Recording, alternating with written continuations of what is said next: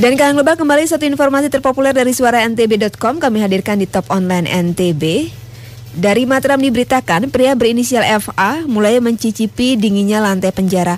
FA yang mengaku kontraktor ini memeras teman wanitanya yang didekati lewat Facebook.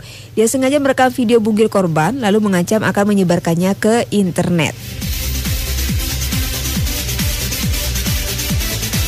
Rekaman video itu dijadikan alat yang bersangkutan untuk membalas korban kerugian korban 150 juta rupiah.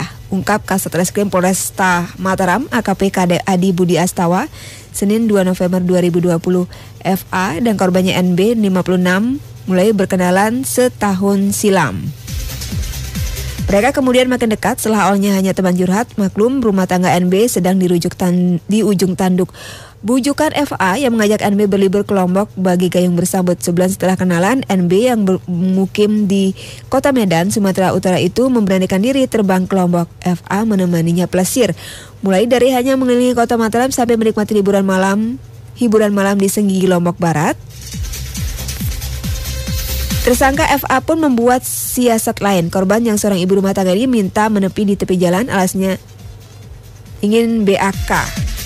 Pada saat itulah FA merekam aktivitas NB. Video ini memang sengaja FA simpan, NB pun pulang kembali ke Medan. Mereka tetap saling berkomunikasi sekali via panggilan video. Kesempatan itu dimanfaatkan lagi, FA meminta NB untuk berakting bugil. FA diam-diam merekam.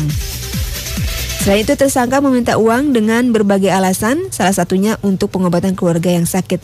Sejak awal tahun, korban yang merasa takut dan terancam mulai mengirimi tersangka uang. Transaksi terakhir pada Oktober lalu, total uang yang ditransfer korban mencapai 150 juta rupiah.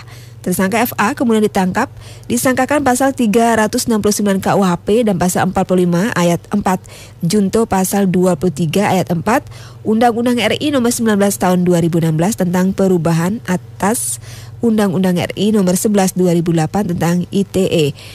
Ancaman pidananya paling lama 6 tahun dan denda maksimal 1 miliar rupiah. Kalau global demikian kembali satu informasi terpopuler dari suara ntb.com sudah kami hadirkan di Top Online NTB.